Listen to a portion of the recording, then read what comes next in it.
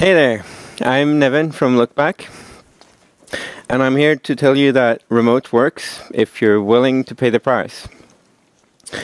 Um, and this is not a story of how remo remote could work for everyone or like a generic way for any company to work efficiently. This is just a story of how we do remote and how that works. Uh, and we're also a pretty young company. We're just about two years and 12 people. So larger organizations will, of course, have other problems than we do. I've uh, stolen this presentation from our CEO, Jonathan Litke, and he's used his background from starting Gozo Gamers from 2 to 2 million uh, viewers, uh, while I've replaced that with my background from Spotify, where I worked for four years. Um, so let me tell you about remote. So remote works, but technology obviously doesn't. Um, for me, uh, remote is all about uh, symmetrical um, communication bandwidth. And I'll explain what I mean by that. But I grew up, so to say, at a company that was designed for having a great engineering team working together very closely, talking very, um, very much in one office. And that worked great until the company became so big that it opened another office and then opened another office in another time zone across an Atlantic Ocean.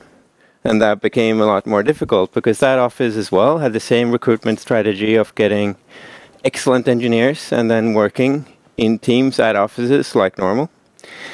Um, and with these time zones, people started feeling left out, and decisions, including more than one time zone became almost impossible. Um, and one solution was to try to kind of like isolate projects in time zones and offices, but that just created even bigger silos and more silence and less communication between teams. And my theory of why that never really worked, at least in the beginning at Spotify, was because um, face-to-face communication is a very high bandwidth communication method. You you talking is you very you can very easily communicate your ideas by speaking, and all the non-verbal communication on top of that There's so much talking. Um, but then, if you have two big groups of people, and the only communication between those two are this weak, low bandwidth uh, channel of like IRC or mail threads, um, you will lose 99% of the information, or that information will arrive so slowly that it's no longer useful anyway. So even if you have like people dedicated to facilitate communication between these offices, it's, it's going to be a pain and you're not going to be able to communi communicate uh, in a way so that these teams can work together, in my experience. Um, so the lesson that I took from my experience, and then Jonathan took from his experience with Gozo Gamers and Spotify. Um, and then we then used to implement our teams at Lookback is that everybody needs to pay the price of remote equally. And by making it equally painful for everyone, uh, which is kind of a bad way of putting it, but I'll get to the details, everyone will be working to make communication great because everyone has these pain points. Everyone's working all the time to make this great. And there is no asymmetry in, asymmetry in communication. Everyone's on the same level and everyone's on the same page. And that does sound painful, but and I'm just going to go through some of the benefits. Everyone uh, as probably knows or can imagine the benefit of working remotely. But for example, everyone can work wherever they're most comfortable, which is such a stress relief like you wouldn't believe. It's a great uh, boost for creativity and reducing um, and focus. Um, but a, a bit more surprising is that um, you increase transparency throughout the organization because everyone needs to leave these digital traces of what they do which means that it's very easy to just look into a chat channel or a forum and just see what's going on in any part of the organization. So you get great tra transparency for free. And you also get great uh, uh, flexibility both in what you work with and when you do it. If you have people all, all over the world in different time zones, we have uh, the US West Coast, uh, Sweden, Poland, Australia, so it's a big coverage of time zones. That means that everyone's adjusting their work uh, to be asynchronous. You really can work at any time because no one is expecting you to be at a time at a specific place. And that also means that since everyone's working in this very transparent manner, it's very easy to skip between groups. There's no physical location you need to change. You just say, I'm more interested in this now, and I'll just keep track of this thing. Um, so these gains and many others come from setting up rules for ourselves. Always relentlessly following these rules and always reminding each other to follow these rules.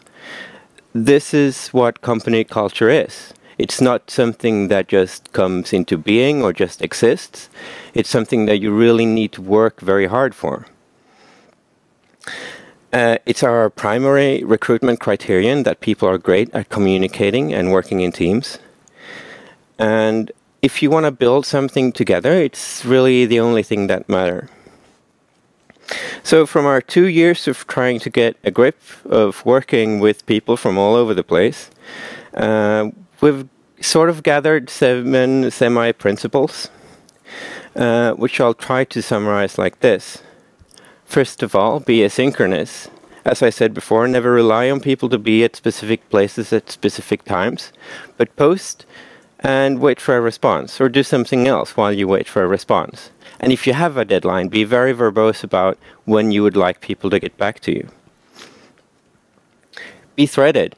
Use the right tool for your communication. Make sure to find the right thread. Um, go through the history of communication, link between discussions. Make sure that um, you're always referring to the right place when you're posting information be transparent. And this is, of course, important in any organization, but extra so when you're remote. Document the decisions you make and document the journey that you've taken coming to that those decisions um, your learnings. Fourth, be traceable. So I guess in this room there are a lot of developers who like to just open their laptops in the morning, hack away, close the laptop when you're done in the evening, uh, but in a remote organization, no one can see that you're at the office. You need to really tell everyone that you're there, you're doing well or not, and you're doing these things today, and you're running into these things. And you really need to be traceable and show where you are and what you're doing. Uh, fifth, be talkative. Not just traceable, but talk a lot. Opt to rather give more information rather than less don't be a Unix process. Don't be like, no output means I've got it and everything went great. uh, reply to a thread saying, okay, I understand this, rather than just assuming that everyone has read it and are okay with whatever has been said. But, and this is difficult to balance, be to the point, because if everyone's spamming stuff all the time into the wrong channels, um, the real information is going to get lost. So make sure that your communication is in the right place and that you're being verbose but not too verbose. And finally, be targeted. Just like the time one, you need, you need to be uh, very clear when you need a response, but also from who you need a response and who should read the thing you just posted. Um, so those principles have taken us pretty far. Um, we're working pretty well, I think, really well, following basically these uh, seven principles with our tools. So I thought I'd go through, like technically, what are we using to do our remote communication with our team of 12 people? So we're using not email. Email is terrible and the worst and kills puppies. Um, however, we use Trello, uh, which I guess a lot of people here are doing. Uh, they replace whiteboards and Kanban post-its with a nice digital tool. And to get back to the point of physical whiteboards being nice. Yes, but if you're remote, you need to use the digital tool. And when everyone's forced to use the digital tool, you realize all the benefits of doing so. Trello is an amazing tool. It's so polished. It auto updates. It's got all the right features. Um, and back at Spotify long ago, while Spotify was trying to figure this remote thing out, it was trying to use Jira as a Kanban or um, Agile tool, which is terrible. Because you said you, you in Jira you set up these processes of like these cards of these types can be moved between these columns under these circumstances, and it's just. Uh, instead, uh, in Trello, you just smash cards onto the board and you just try to communicate what you're doing and what your team are doing and what might happen in the near future. And as long as that is communicated by the board, you're fine. And you don't need rules, you just try to keep it good. And I guess everyone has used, used Trello or agile methods. One of the most important questions is which uh, columns are you using? Uh, so I, I just thought I, I'd show you what we kind of settled on. It just happened to be these columns that we ended up with, which is the short-term backlog, but like maybe a month into the future to do this week. So we try to do by uh, do things weekly. Uh, working on which is happening right now. Yeah, I'm still not done with that release. Uh, there is needs review stuff that's done, but someone else should have a look at it, maybe test it or have a look at a PR or something like that. And then done once you've shipped it. And then every Friday we clear it done, and we every Monday we make sure to do this week is good for that week. But this is individual for each person. You got your own sort of Trello board. No, so it's per team. Is it pretty? So this is the uh, team improve UX for testers, and then you can assign people are assigned to the cards they're currently working on. Obviously, that cannot be too involve uh, too many people. You have to have sort of a reasonable. Absolutely, yeah. So when we became 12 people relatively recently, um, we kind of changed how we worked because we realized the company is too big to ev- gather everyone in one board and one communication channel.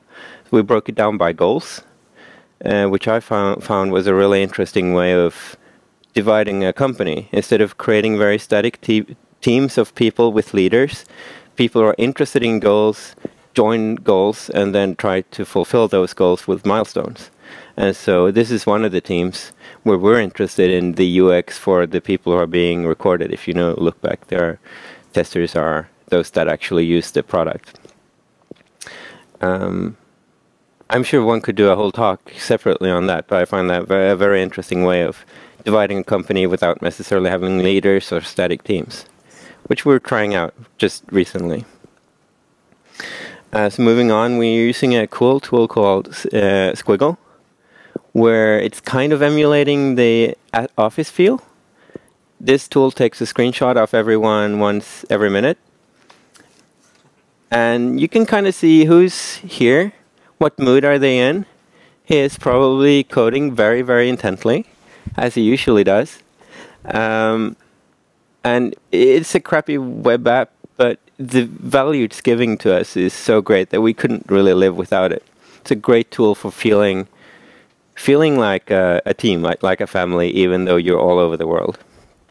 So we love it. You can also do video chat very badly, but we still use it because it's so convenient.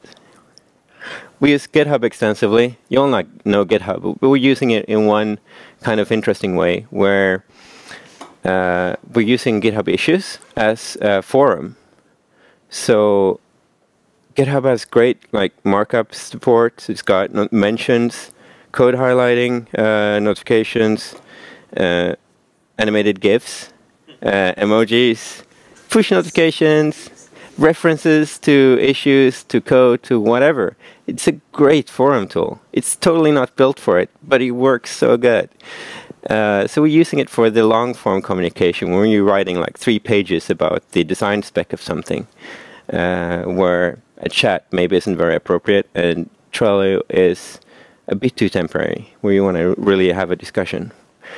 Heidi, coworker. Do you feel comfortable, like for me, if I was the audience that actually want to see how that works, do you feel comfortable Yeah, I'm I'm trying to remember if there are any forum threads that we really shouldn't be showing. I think there probably are. Public repository issues. I mean, it would look the same way, right? Oh yeah, it's just it's just a list of issues, and but then you need to sort it by recently updated, or you will miss stuff. Uh, so, which GitHub doesn't save, so you need to have a link to that. Um, I would love to show you, but I haven't really prepared it. Sorry. yeah. Do you integrate GitHub with Trello in any way? Um, no, we should, but we don't. So the question was whether we integrate GitHub with Trello. I mean, we link between them, but there is no. Yeah, and I know there is some kind of automatic thing you can do with- with closing issues from cards or something like that. We don't use it. Probably should. Yeah, from my experience, like closing issues from from, from Git commit is very interesting because you get all the history of the project inside GitHub or Bitbucket uh, just because of that. Especially if you use like eAggregator, you are using HipChat, and every commit and every issues upon a Twitter board are reported in the, the, the, the project. Uh, we have a, a channel pet project where we get all the history of files uploaded, committed, uh, stuff like that. Yeah. And I, I've been working at Fantasy Interactive before, and we had uh, offices all around the world, so it was very important for us to get one channel where every decision Right. uh, centralized uh, thread. Yeah. So we um, we use a tool called Flowdock, which I will get to. Okay. Uh, no, it's fine. Where like all the tools feed into that, so we get all the issues, all the cards, everything that's happening comes into uh, inboxes, and they're called in uh, Flowdock. So we, where if you like mention someone in a comment on GitHub, it's gonna ping you both on GitHub and on chat, so you can have the discussion where it's most appropriate. So that's pretty cool. Uh, that gets us to Flowdock. Uh, so there are tons of inter in-company chat tools like Slack, Basecamp, HipChat, Yammer, whatever. They're all great. They don't have threads. Uh, this is a crappy web app with terrible UX, but it has threads within channels, which is something I've wanted since like IRC in the 90s. Uh, so you see like there's like a red icon over here, which means that that message and these two here are in a thread about people wearing hoodies on Sqwiggle. And then this thread in pink here is about uh, Pirate Bay uh, re-emerging. And then this green thread here is about me talking to myself to you right now uh, in the channel random. So these things are all going on in random.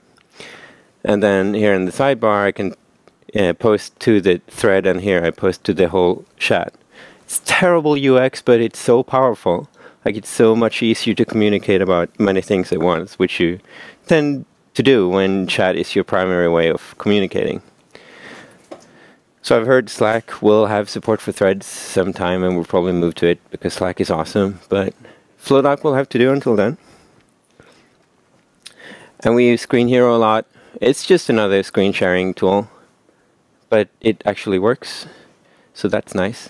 And you can like see the other person's cursor, so you have a cursor each. They were bought by Slack, by the. There you go. Yeah. you gotta move to Slack. Yeah. so that'll work out. Um, right, and then of course we dog for our own tool. I've done. I've talked about Lookback so many times here, but for those of you who don't know what it is, it records the screen on on iOS and then automatically uploads it to our web server. So you get a link that you can share, and we use it to dog food our own tool. And I heard, heard of um, uh, other companies like Narrative use it as a great remote working tool where you record videos of like bugs, animation, design, uh, UX, and you know any kind of app feedback. You just record that, you get a link, you share it to your colleagues. Uh, and for the same thing on Mac, we use Quickcast, um, and it's just so useful to communicate about these things with video. So that's Lookback and that's Quickcast. And here I'm just going through the code base quickly, record it for three minutes, and then that's a reference for some other dev when I'm too lazy to write documentation, but I've got three minutes to record a video. Very, very powerful. And I just store this in a wiki or whatever. Um, right, so I also want to talk about two ways of measuring communication to help you choose how to talk to your colleagues. Uh, so I talked about bandwidth, which is very important to me, where you can choose a tool depending on the amount of bandwidth you feel you need to consume to uh, communicate to your colleagues. So chat can be answered at any time, throw away data. If they're around, they'll answer. That's fine. Uh, post on the forum, still text. Then you got like screen Screenhero on Sqwiggle, where you got video, and you're really taking up the person's attention, but you're also able to communicate in a much more verbose manner. So, like, if you're just asking what what's the endpoint we're using for the beta right now, you're just asking in the chat, and answer someone will answer when they're ready.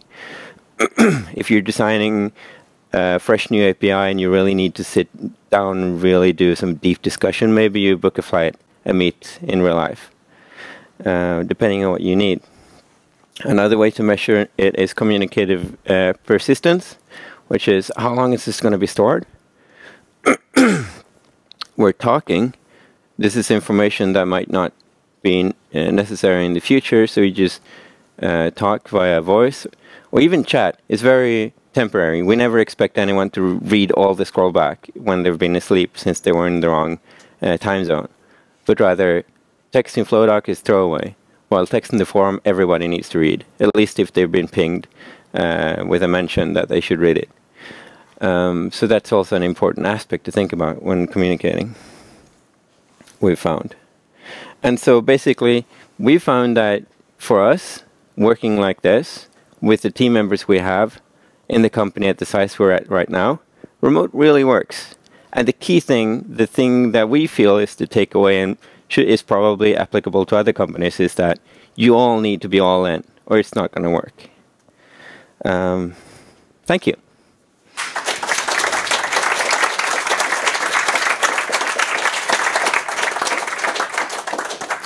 And if we have time for questions? Yeah, so uh, I think we we just uh, ran through the uh, or ran over the new schedule, but we still have time on the original schedule. Let's with some questions.